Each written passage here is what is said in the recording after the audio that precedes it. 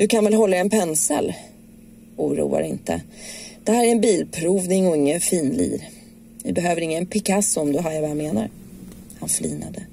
Klappade till huven på en av bilarna, en liten Audi. Robban! Säg hej till den nya tjejen.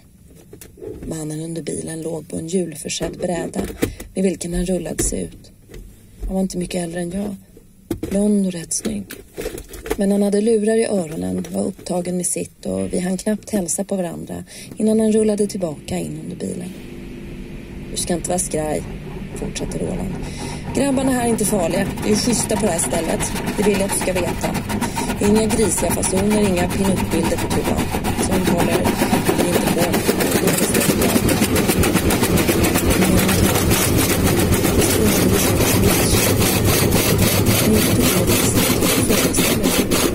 Trots de ständiga hänvisningarna till mitt kön och litenhet kände jag mig mindre som en tjej och mer som ett offer.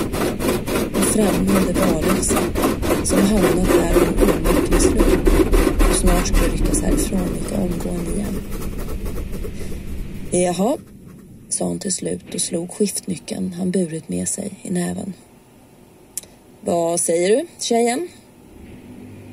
Ja, vad skulle jag säga? Jag stoppade händerna i fickorna och sen utbrast jag. Varför vet jag inte. Vad äter man nu? Han skrattade igen. Redan hungrig? Kom, ska du få se. Han drog mig genom ett slaskigt hallutrymme, slog upp dörren till ett litet pentro. Dystra krukväxter i vaxdukar. En äldre kvinna i rött hår stod hukad över ett bord med en wettextrasa. Barbro, hojtade han. Här har vi nyrekryten. Kvinnan vände sig om och släppte trasan. Hon var lugn och mager, klädd i jeans och en t-shirt med företagets logga på bröstet. Men hej på dig, sa han. Välkommen hit. är i.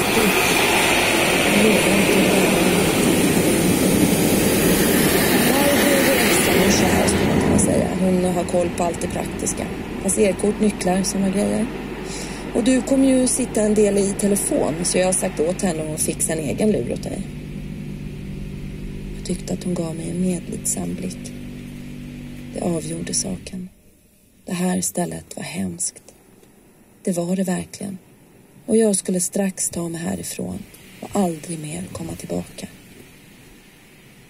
Rundvandringen avslutades där den påbörjats, utomhus, på uppfarten, en kal, ful inhägnad. Lera trängde upp ur ihåligheter i asfalten.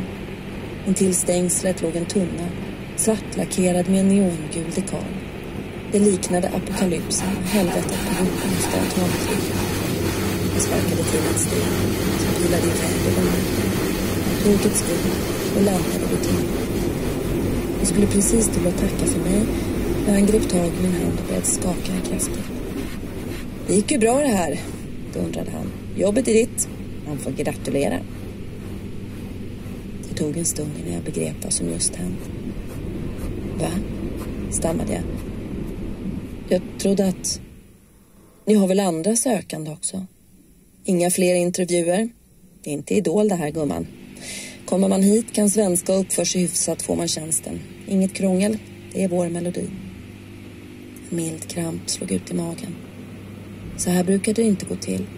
Så här brukade det inte alls gå till. Man kallades till intervju, man fick inte jobbet. Som bäst hamnade man på en lista över reserver och kontaktades längre fram för inhopp på helgerna. Jag ville inte ha ett jobb. Jag ville framförallt inte ha det här jobbet. Du ska få det här också. Jag satte näven i bröstfickan på blåstället. Räckte med ett litet tunnigt visitkort. Ring om det skulle vara något. Annars ses vi om tio dagar. Halv sju rullar vi igång. Halv sju? Det var tidigt. Brast ut i skratt.